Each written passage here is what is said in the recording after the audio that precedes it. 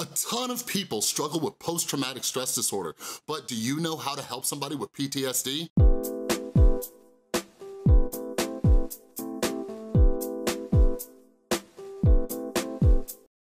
Is up, everybody? This is Chris from The Rewired Soul, where we talk about the problem, but focus on the solution. And welcome back to another video where this week I'm diving deep into the topic of how do you help somebody who struggles with mental illness? And PTSD is so prevalent, and I'll be talking about the stigma around PTSD, misconceptions and things like that later on in this video. But like, it's so, so, so important to know how to help somebody with PTSD and like, really the do's and don'ts. And PTSD is a form of anxiety, and it's important to kind of understand what PTSD is all about. Now, here's the thing. I'll be honest with you, I don't know everything. I am not nearly as well educated about post-traumatic stress disorder as I should be, all right? So here's what I did. I turned to my buddy Kelela from the channel Post Traumatic Victory. It is an amazing channel. Kelela is awesome. Make sure that you go check her out and subscribe. I will put links in the info card and down in the description and in the comments. Go over there and subscribe to her channel. Like, this will help you educate yourself about PTSD. But Kelela's awesome. Like, she talks a lot about PTSD. She has a service animal and things like that. And she's also a musician. One of her most recent videos was actually a ukulele cover, and I absolutely loved it. So go over to her channel and say, yo, Kelela, when you gonna gonna drop that EP on Spotify. You know what I'm saying?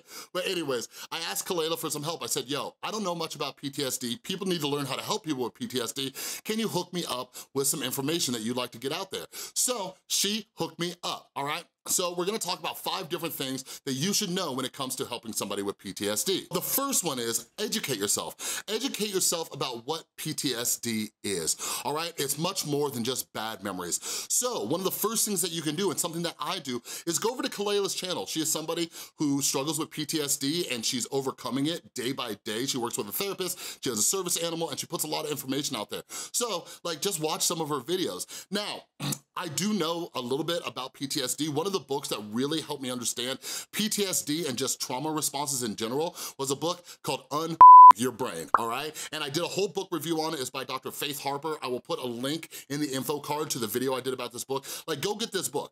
Go get this book right now. Pause the video, go get the book, and then read it, okay? It's a very short, simple book, but it talks a lot about rewiring your brain and how to work through it and trauma responses where anxiety comes from and all that kind of stuff. So what happens is, and here's just like a very brief overview of PTSD. So the brain is always trying to protect you, okay? So when you go through a traumatic event, and traumatic is relative, okay? What's traumatic for one person might not be traumatic for another person. But what happens is, is the brain stores that memory in a part of the brain called the hippocampus, which is tied into the amygdala. The amygdala is your fight, fight, or freeze mechanism. So PTSD can be triggered by a wide range of things based on your, uh, your different senses. So it can be different sounds, different smells. It can also include memories. It can be certain tastes. Anything that uh, was happening in that moment can trigger PTSD and the brain freaks out because it thinks that it needs to protect itself.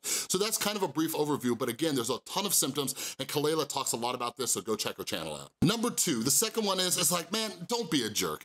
If somebody in your life struggles with PTSD and they tell you about some of their triggers, like don't mess with them about it. Don't joke with them about it. Like, trust me, I'm a big jokester, I'm a prankster, I have a ton of dad jokes and things like that, but I have a lot of people in my life who struggle with PTSD, and that is just off limits. Like, it's rude, it's terrible. So don't go around jump scaring them, don't know about some of their triggers and then set them up or anything like that. Like, it seems like common sense, but there are people out there who are like, what, what babe, I was just trying to be funny. Like, it's just, that's not funny, you know? And like I said, I have a very crude sense of humor. Some of my favorite comedians are like really, really crude, right? But this is something where it's just like common decency, we don't do that. Number three, don't try to get somebody with PTSD to talk about their trauma, okay?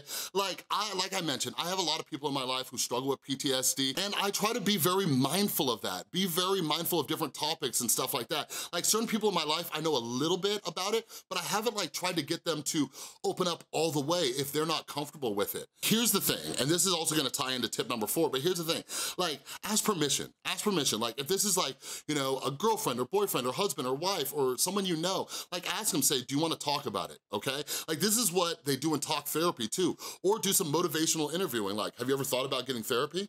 Do you think therapy might help you with your symptoms or struggles with PTSD? You know what I'm saying? Because maybe you're not the right person for them to talk to about it, but maybe somebody else did, like a licensed professional. And I will provide some resources down below. But don't try to force somebody to talk about it. Like, here's the thing.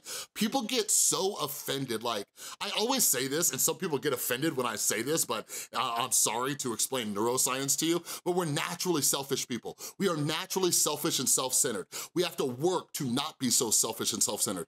If your significant other or your friend or family member or coworker doesn't wanna talk to you about their PTSD and the traumatic event, that is not something to get offended by, okay? This doesn't mean they love you any less. It doesn't mean they don't trust you, right? This is something that is very, very sensitive to certain people, and they don't have to tell you jack squat. Number four, like if somebody tells you that they're struggling with PTSD or they're struggling with some of the symptoms that are popping up or they're going through like an anxious moment because of their PTSD, just lend an ear. Just lend an ear. And again, always ask permission. Like, we have to just say, like, do you wanna talk about it? Like, do you wanna talk about what you're going through? This is a little bit different than asking what happened. Like, do you wanna talk about what's happening right now? Like, let's say maybe you're out in public or something like that and a loud noise goes off or, you know, whatever it is, and it might, you know, trigger them, right? Do you wanna talk about it? Because like I mentioned in my last video about uh, people who struggle with anxiety, sometimes just talking about what their experience is in that moment, like, it helps the brain calm down.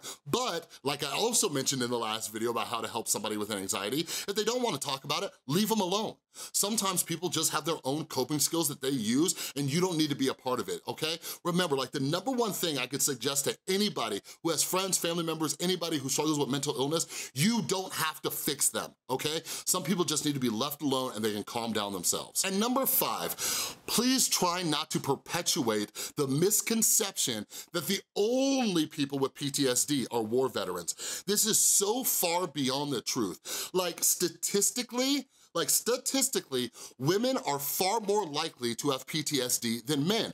And this is because women are far more likely to be the victims of physical, sexual and emotional abuse, okay? Now, this doesn't mean that men can't be the victim of those things too, but statistically, women are more likely to. So, like, it's not one of those things where you're just like, oh, hey, uh, you know, you weren't in war, how do you have PTSD? Like, don't even go there, don't even go there. Like, you don't know their past, you don't know their struggles. And when talking about, like, educating yourself about PTSD, like, this can come, come uh, from a, a car accident, okay? This can come from the loss of a loved one. This can come from being bitten by an animal animal. This can come from almost drowning. Like this can come from any type of situation where a person's life felt threatened, all right? So don't think that it only happens to war veterans. And on top of that, when it comes to helping somebody, like don't say these little things like we don't say to anybody with mental illness, like just snap out of it. Don't think about it. Calm down. Think on the bright side. Da, da, da. All these things, they just don't help at all. But anyways, that's all I got for you.